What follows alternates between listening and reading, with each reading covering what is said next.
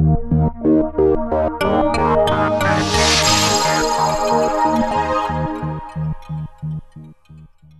you stay in this location, when I'm done this and I give you the okay and we move into this, you can move up onto this right here. A prescribed burn is underway in West Windsor along the EC Row near Matchette Road. Officials hope it'll help native species which are burn resistant.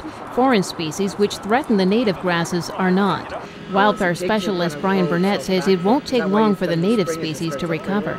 Yeah, uh, you'll see after three days, you'll see green up starting right after the burn. Uh, you'll start seeing some of the new sprouts coming up within a three day period, Dep- depending, of course, on the temperature and the more moisture on site, but it doesn't take very long at all. The burn is taking place not too far from residential homes, so Burnett says they're keeping a close eye on where smoke blows. What we've seen is that uh, the winds are going to come into prescription for today so that we can get the smoke up high enough and let it disperse into the atmosphere. The need for the prescribed burn was discovered during the environmental assessment for the Windsor Essex Parkway, although the burn itself is not part of the Parkway project currently underway.